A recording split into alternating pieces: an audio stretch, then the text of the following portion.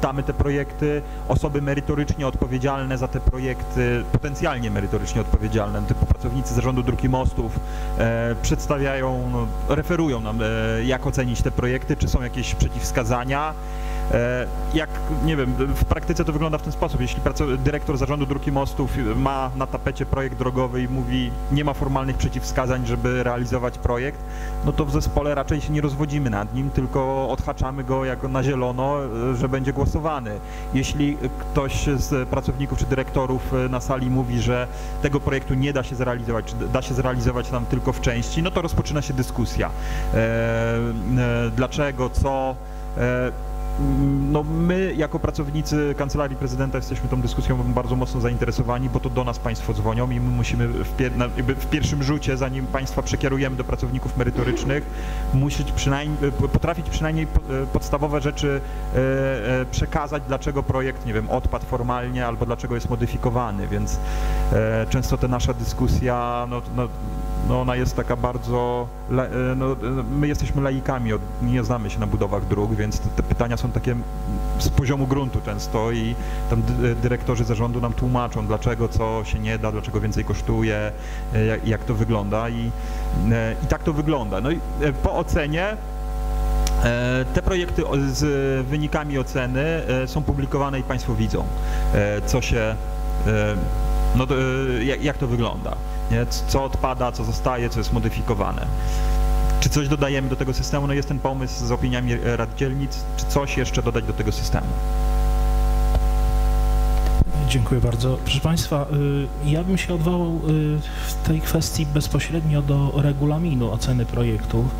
I tutaj jest taka, no Piotr, mówisz o tym, że jest ten zespół do spraw budżetu obywatelskiego, istotnie, no ale też y, pojawiają się wnioski, które są zbliżone w, e, prawda, w, swoim i zakresie i, i, tematyce i one są różnie no, oceniane przez ten zespół.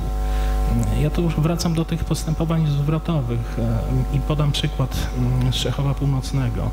Jeden wniosek dotyczący boiska przy szkole 16 e, i 43, gdzie na części nieruchomości E, e, toczy się postępowanie zwrotowe, to jest mały kawałeczek i e, wniosek, który, mm, ten wniosek, o którym mówię, nie uzyskał oceny pozytywnej, formalnej i wniosek numer 46, budowa miejsc parkingowych dla, na osiedlu Paderewskiego, Szymanowskiego i Spółdzielni Choiny, ten wniosek zyskał przychylność warunkową Zespołu do Spraw Budżetu Obywatelskiego tam modyfikacja miała polegać na tym, że część nieruchomości, to znaczy, że z, zawężamy obszar inwestycji, prawda, omijając ten teren dotyczący zwrotów. Tutaj, proszę Państwa, y, chciałem zwrócić uwagę y, na tą, taki dualizm w ocenie z jednej strony i może zaproponować y, ten tryb odwoławczy, który tutaj no, w paragrafie 7 ustęp 1 punkt 2 istnieje co prawda, ale to jest odwołanie do tego samego zespołu, e, do spraw budżetu obywatelskiego. E, no wiadomo, że e, sędzi, nikt nie może być sędzią we własnej sprawie. Zaproponowałbym taki, taki tutaj oto manewr, żeby te odwołania rozpatrywała komisja budżetowa. Rady Miasta, bo Komisja Budżetowa Ekonomiczna i tak y, y, tymi projektami się zajmuje, ale może dobry, dobrym zwyczajem, może zapisem w regulaminie byłoby, żeby właśnie te takie y, palące, kontrowersyjne kwestie ocenił ktoś, czy zobaczył, ocenił ktoś z zewnątrz, a więc panowie z Komisji Budżetowo-Ekonomicznej. Także to jest mój wniosek, bo y, mówię, y, są kontrowersje na tym etapie, niektóre wnioski są y, mm, no, ucinane, powiem tak, natomiast no, myślę, że to byłoby dobre rozwiązanie. Dziękuję bardzo. Przyjmujemy, zapisujemy jako pomysł na modyfikację w regulaminie, żeby odwołania trafiały do komisji budżetowej. Czy są jeszcze jakieś co do oceny Szymon. I za mną ciągnie się taka moja refleksja po budżecie obywatelskim w 2014 roku, bo no, ja nie dostałem informacji jak po tym, podejrzewam, że zgłaszałem coś takiego. Mój projekt został zmieniony bez mojej wiedzy. Ja zgłosiłem projekt na 24 tysiące, projekt pod, pod głosowanie opiewał na 200 tysięcy złotych. I ja się dowiedziałem o tym e, z wyniku z ogłoszonych e, projektów pod głosowanie. E, Nie było żadnej informacji od urzędników, dlaczego, po co, na co i zero. Po prostu zero kontaktu e, i mój projekt został zmodyfikowany. E, Ten projekt został zmodyfikowany, ja chciałem bandy do, do unihokeja mobilne, mm, żeby je rozstawiać. Projekt zakładał m.in. remont ogrodzenia szkoły. No więc po prostu tak no nie potrafię sobie znaczy wymyśleć dlaczego i też wydaje mi się, że jeżeli projekt jest zmieniany w ten sposób, że jest mowa o wymianie ogrodzenia, to powinna szkoła o tym wiedzieć, że jest projekt, który zakłada wymianę ogrodzenia w szkole. Ja pytałem w szkole, szkoła też nie wiedziała, że jest projekt dotyczący też ich infrastruktury. Także to jest dla mnie no, ten, ta, ten, no, ważne, żeby urzędnicy informowali o, o tym, że chcą zmienić projekt. Czy system informowania o e, wynikach oceny, on rzeczywiście w tamtym roku i w tym roku tak samo wyglądał? To znaczy przesyłaliśmy, publikowaliśmy, przesyłaliśmy do mediów, do wszelkich możliwych tam adresów mailowych, jakie mamy, że ukazała się opinia o e, projektach.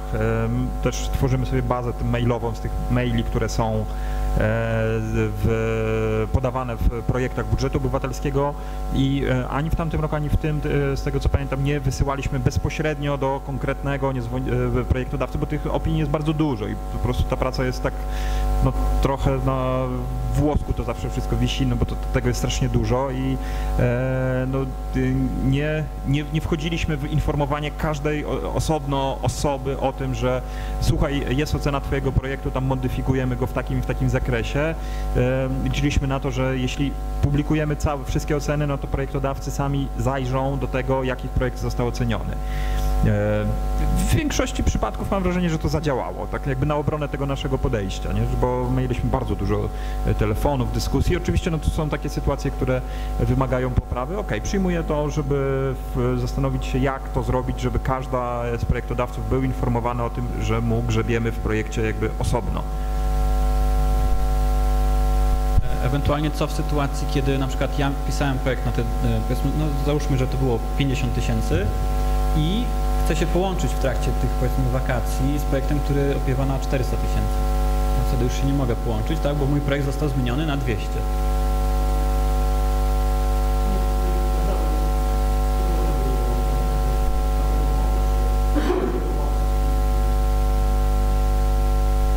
Andrzej Gołacki jeszcze raz.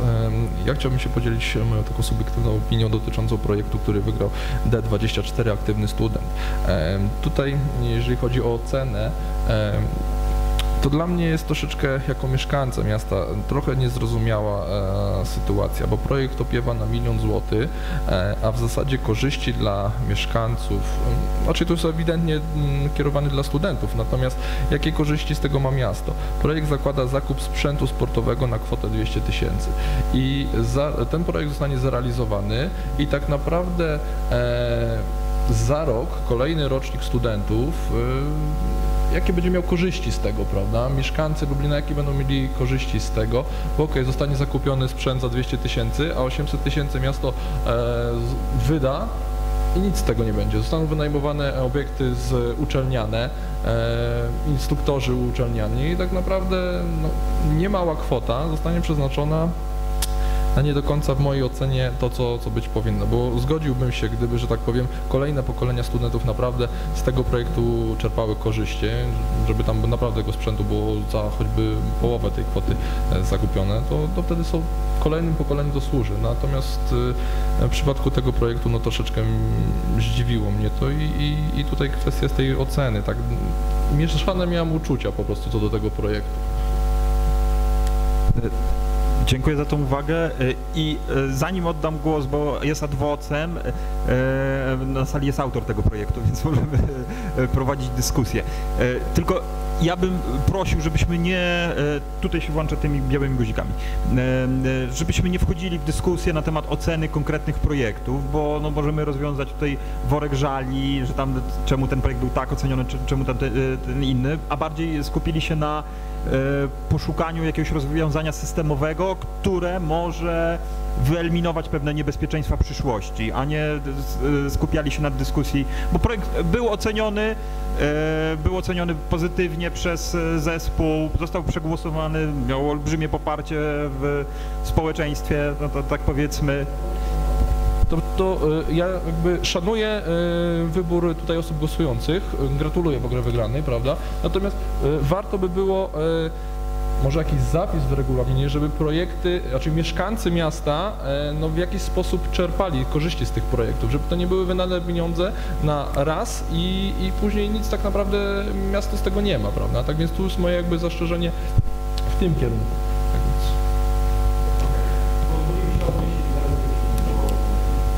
Piotr Reimer, akurat odpowiadałem za między innymi ten projekt.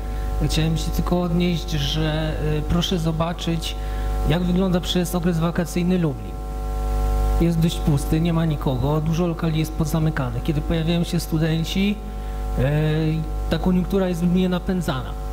Projekt, który przygotowaliśmy, między innymi ten aktywny student, to jest zakup sprzętu, który będzie przez lata służył dla e, mieszkańców Lubina, bo będą to studenci, będą to też mieszkańcy, którzy przyjdą na dany obiekt i będą z niego korzystać. Na takim obiekcie jak Uniwersytet Przyrodniczy czy inne obiekty e, korzystają nie tylko studenci, ale też i mieszkańcy tutaj. I przychodzą, są to pozostałe inne zajęcia, które są realizowane dla wszystkich. E, I, i dlatego te projekty, e, ten projekt e, i te pieniądze, które teraz zostały zainwestowane, będą w kolejnych latach służyć. I zajęcia, które będą realizowane, które są skierowane dla to, do tego, żeby tu studentów tej Lublina przyciągać, żeby ich było coraz to więcej. Bo jednak Lublin po tej stronie Polski jest e, po tej stronie Wisły i największym miastem studenckim.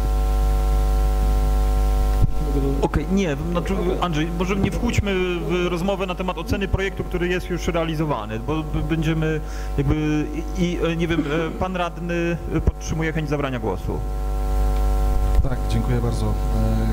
Chciałbym tutaj wyrazić swoje wielkie zdziwienie, panie Szymonie. Jeśli taka sytuacja miała miejsce, to w mojej ocenie jest to niedopuszczalne, żeby bez wiedzy i zgody autora zmieniać w ten sposób projekt, bo może się okazać tak, że chociażby ze względów personalnych, na przykład pan Szymon, będący autorem jednego projektu, wcale by nie chciał wchodzić w jakiekolwiek e, kooperacje i tak dalej, układy z innymi osobami. Choć rzeczywiście, powiedzmy, nie byłoby to dla dobra ogółu, no, ale i takie jest prawo autora, kochani. No, no, no, wybaczcie, tak jest. Jak to rozwiązać? No żeby nie było, że tylko krytykuję. Nie, absolutnie. Y, Komisja opiniująca y, obraduje pewnie przez kilka dni.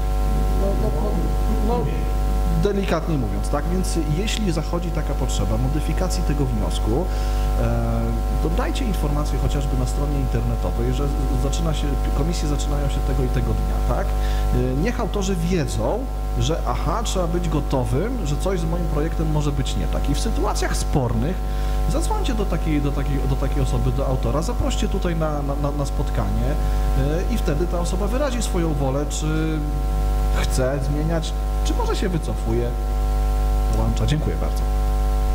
Dziękuję. E, e, Ze swojej strony mogę powiedzieć, będziemy starali się to zrobić, ale e, tak jak mówię, osoby, które są informowane, znaczy wystawiamy informacje, że projekty są zmodyfikowane przez zespół w taki w taki sposób i naprawdę mamy masę telefonów, masę osób, które przychodzi, pyta się, dlaczego te projekty zostały w ten sposób zmodyfikowane, dlaczego tam dodano coś tam, dlaczego łączymy projekty i ludzie e, mają możliwość powiedzenia, że się nie godzą. Mieliśmy projekty, które zostały wycofane, bo ludzie nam, e, tak jak w przypadku twojego Szymon projektu, mogłeś się nie zgodzić i powiedzieć nam, że e, nie, nie godzę się na to, żeby tam dodano to ogrodzenie czy coś tam. Z jakichś tam powodów Wydział Inwestycji Remontów dodał to ogrodzenie.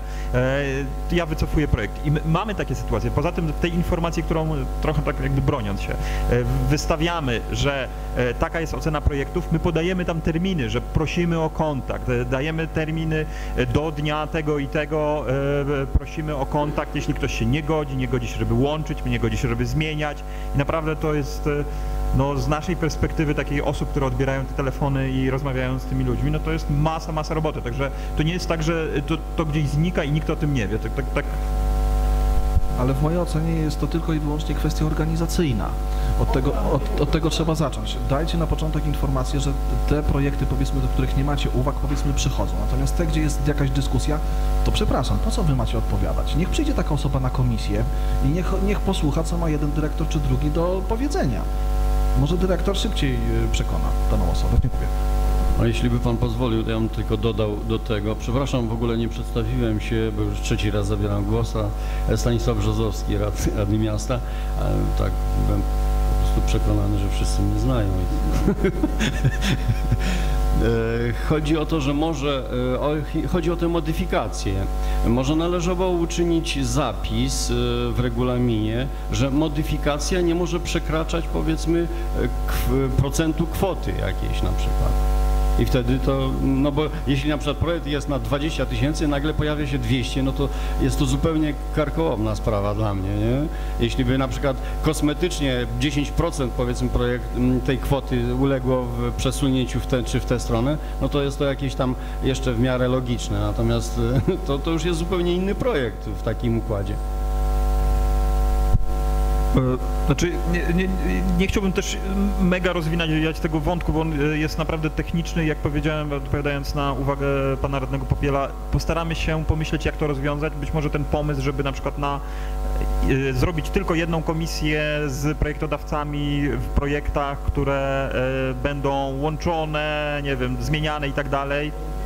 Ta, taką publiczną, może to jest to. Postaramy się tak zrobić. Co do wpisu w regulaminie, e, możemy taki zapis zawrzeć, ale e, to też e, tak idąc właśnie tutaj, co pan z Rady Dzielnicy Kalina mówił, może być to niebezpieczne, bo czasami to podniesienie e, kwoty jest znaczące, bo na przykład projektodawcy nie zdawali sobie sprawy z tego, że tam coś tam, coś tam, coś tam i oni się godzą na to. Mówią, że dobra, było 20, jest 200, wa- e, nie ma to dla nas większego znaczenia, nie wiedzieliśmy. Tak, tak, a zawsze mogą się nie zgodzić. W moim przypadku niekoniecznie było to jakimś problemem, prawda? Mnie tylko bolało, że, że nie zostałem o tym poinformowany, że to moje dziecko, które po prostu tak składam pieczołowicie drugiego dnia, kiedy można. Bo akurat tutaj nie było problemu, że to ja akurat nie chciałem go łączyć z większym projektem, tylko po prostu ja naprawdę chciałbym wiedzieć dlaczego, po co i, i chciałbym też, żeby dyrekcja wiedziała, że ktoś przychodzi na jej teren i myśli, żeby coś zmienić. E, Tak trochę idąc dalej, e, ja bym wrzucił jeszcze jedną rzecz, ostatnią rzecz do tego etapu oceny projektów. E, Nie chciałbym tego rozwijać, ale może do przemyślenia na przyszłość, może ktoś w mailach się wypowie na ten temat.